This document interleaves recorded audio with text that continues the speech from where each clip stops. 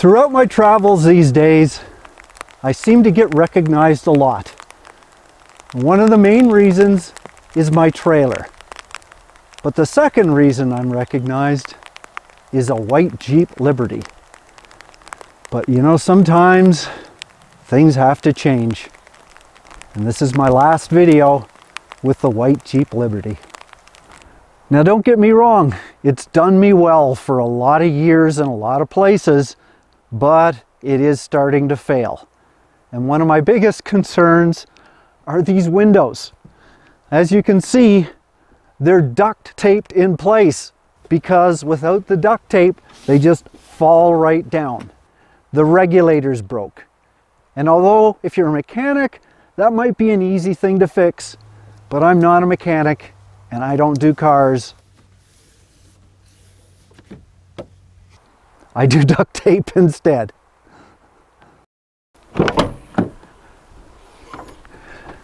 And there's that tiny little issue about the back door.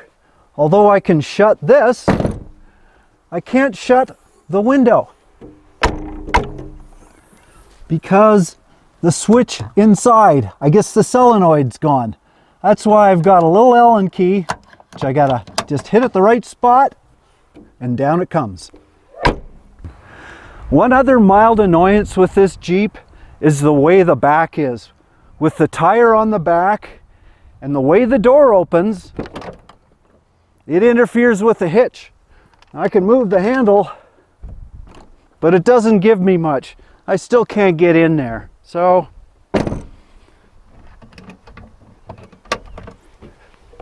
I think I need a vehicle that's a little bit more trailer friendly. So besides a flat tire, a couple of times. It's not good. I had no major issues with this Jeep.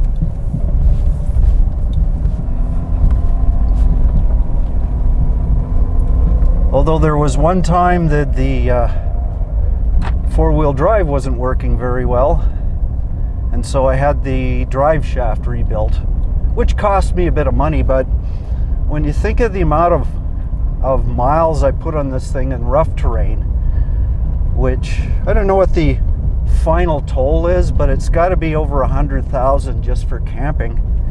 It's done pretty good. Yes, my Jeep has got me through a lot of rough roads, even in winter. From freezing cold mountain air to the hot desert in California,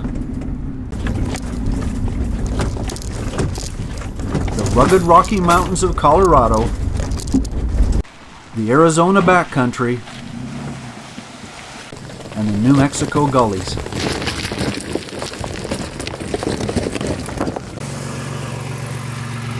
Somehow it stayed mostly in one piece and prevented me from slipping off muddy slopes in South Dakota or pasture land in Montana. Vehicles, like people, have an expiry date. So you know, but oh, and some people sort of wonder, well, why do you choose these old beaters? Why don't you buy a new vehicle? Budget. I am on a limited budget. I cannot afford to buy a brand new vehicle. And at my age, chances are it's not going to get any better. I have to live within my means. And so I don't buy the best vehicle.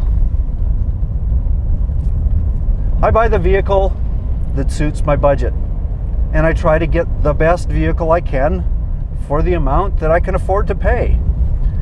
So when people ask me what's the best towing vehicle for an A-liner or a small trailer, tell me what your budget is and uh, I guess I can make some recommendations at least, but for me it's used vehicles and it's just a matter of what to look for when you're buying a used vehicle. It might have looked okay at a distance, but up close you can see its battle scars. Rock chips and rust bleeding from its wounds, chrome stripped off the rims. Yes, trail life for a Jeep has its limits. With its final workout in the wilds coming to an end, it seemed fitting to let this old cowboy ride off into the sunset one last time.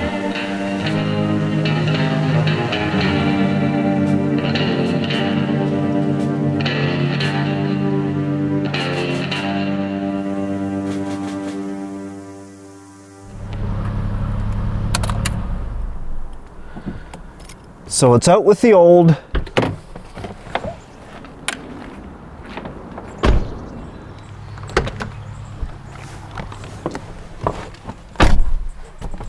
And in with the new.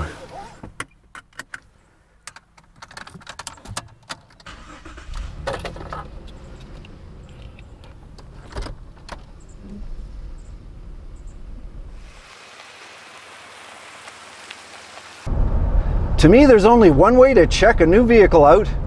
That's to grab a strong cup of coffee, a road map, and hit the highway. Because it's road trip time.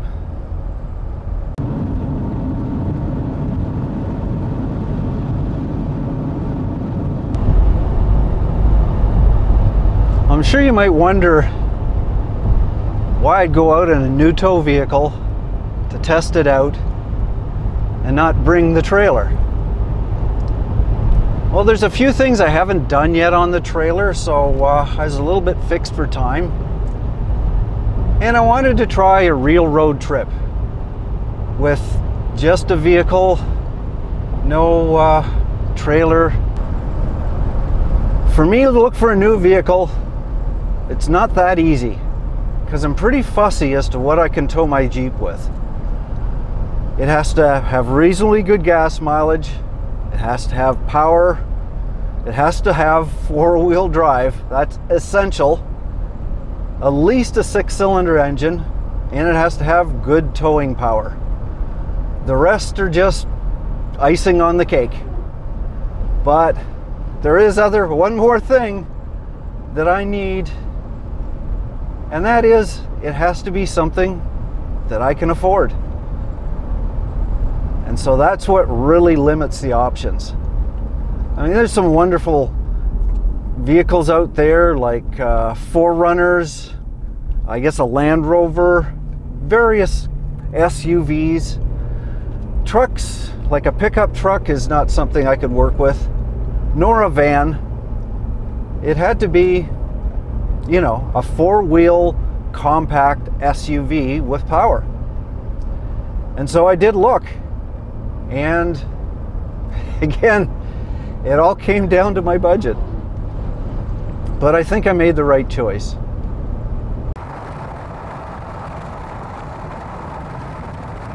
So I thought I'd take this opportunity. I loaded up uh, just highway driving. Uh, I did bring a backpack and a tent, however. So if some real camping comes up where I can uh, do a trail and uh, hike in and camp, I'm all for that. But this is kind of a no frills road trip. I didn't bring my Alpicool. I could have, but I didn't. So uh, won't be doing much cooking. It's going to be road food. Well, I don't know about you, but cities and freeways can really drag you down. Just give me a stretch of open road and some countryside, and I'm in hobo heaven. Nobody can ride the rails anymore, but you can at least just imagine that sense of freedom and adventure those old rounders must have found as they rode those ribbons of steel.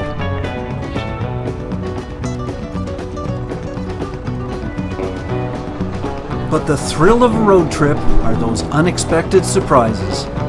Sometimes beautiful and intense, while other surprises are not welcome at all.